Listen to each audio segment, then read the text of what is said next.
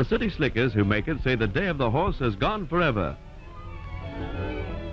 But they reckon without Dave and Dobbin. Dobbin's mighty proud. He may be too old to plow, but he can still sow wild oats. Hey, what's this, another rolling strike? Mummy, where's the RSPCA? But unlike Dobbin, the modern tractor doesn't have to be kicked to get it off the ground. This model has a four-cylinder hydraulic pump that makes wheel changing and tire repairs almost a pleasure. Say, these city slickers aren't bad. By changing implements on the rear of the tractor, it can be made to do almost any job the farmer wants, except Mum's washing. The three-point linkage system does away with heavy lifting and pulling, and the tractor can become a three-furrow plow like this in a matter of seconds. The modern farmer appreciates what mechanization can do for him, and this tractor, invented by Ulster man Harry Ferguson, seems to be able to do almost anything. The spike-tooth harrow folds up for easy transport, but it soon opened up and there's work to be done.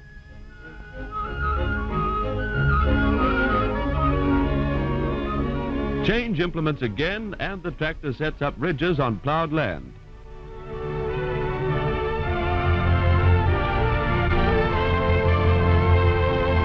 Makes work easy? Sure, it even does all the work by itself.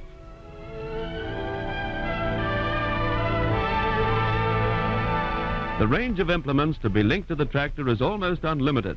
Everything from disc harrow to a mower which can be assembled ready for work in a couple of minutes.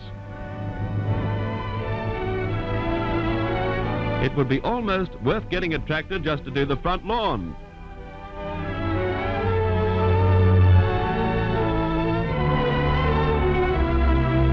This one's called Rough on Rabbits.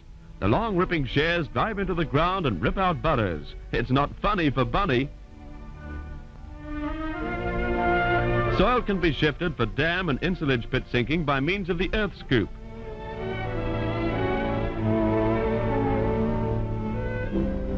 The tractor's powerful hydraulic system allows it to haul a tipping trailer, doing away with expensive tip trucks on the farm. It's certainly versatile. A compact circular saw bench makes short work of timber cutting. It looks as if the axe belongs to the horse and plow days too. Steel slabs are driven into the ground to show farmers the new tractor won't break implements that strike hidden obstructions. The tractor lifts and stops and goes on again.